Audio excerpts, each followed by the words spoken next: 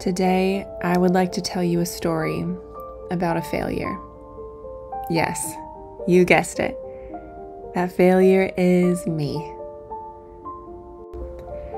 My name is Brittany, and I am a recovering perfectionist.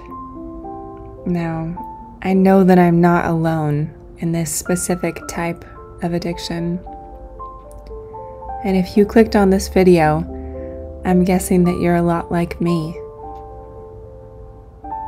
I've spent much of my life as a watcher, sitting on the sidelines, making careful notes and strategic plans about how to ensure that I would never be seen as a failure. No, I would never be anyone's fool. Praying that I could just be invisible until I became a master at the game. The only problem is that you can't become a master unless you play. So I've spent much of my life feeling rather invisible. I learned this young. Growing up, I became painfully aware of my differences.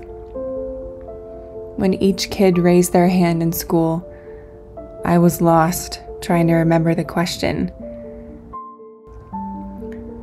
When it was my turn to read aloud in school, I would memorize the section I was assigned so that I wouldn't stumble over my words and trip over myself when the words danced across the page. Instead of focusing on learning, I focused on how to make sure that no one thought that I was as dumb as I thought that I was. To make sure that no one saw me as the learning disability I was diagnosed with. I missed the point. I missed out on the joy of being a learner. And part of that joy is being seen as a failure at first, being a beginner, being at square one. And the perfectionist inside of me tries to revolt against this notion. But deep down, I know it's the truth. I didn't know it at the time, but while everyone in math class was learning algebra, I was still learning. I was just learning a different lesson. I was learning to be patient. I was learning to be determined. I was learning how to be humble and ask for help. I was learning to have compassion on people that were different and how to think outside the box and work with my brain instead of against it. Eventually, I learned math too, but it was just a little bit different than everyone else.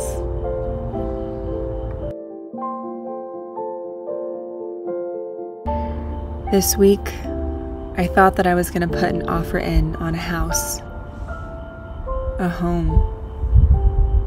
It would have been my very first home. Regardless of how I tried to harness my imagination, I was lost in ideas of design and paint colors and projects and owning something that was really mine. Things that I've been dreaming of for years. The further I got into the process, the more I realized what I would be walking into. Yes, I could have done it. I had the loan, I had the down payment. But I would have been committing my life to a life of debt. The same confinement that I've seen eat the lives of so many people. I didn't want to spend my life drowning, and house payment that dictated my freedom. Bottom line, my little blue collar job was not enough to support this venture, and I wasn't ready. It felt humbling and disappointing walking back to the drawing board once again. I felt like I had finally stepped onto the court just to miss my first shot and be sent back to the bench.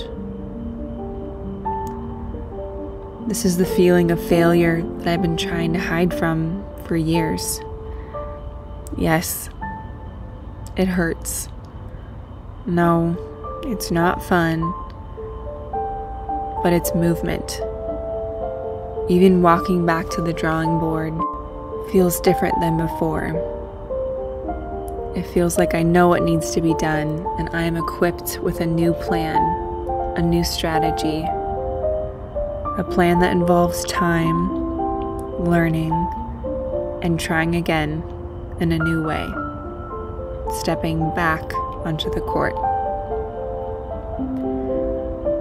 I've noticed that the pain of sitting on the bench and feeling stuck feels safe, but that safety is a lie. The boredom and frustration and perpetual feeling of being stuck is painful in a different way. It's a different type of pain than the sharp sting of trying something and feeling like you failed and having to try again. The only real difference is that the pain that comes with failing at something and having to try again is that it also comes with freedom. And I hope that we get to feel that freedom together. Until next time, my friend, goodbye.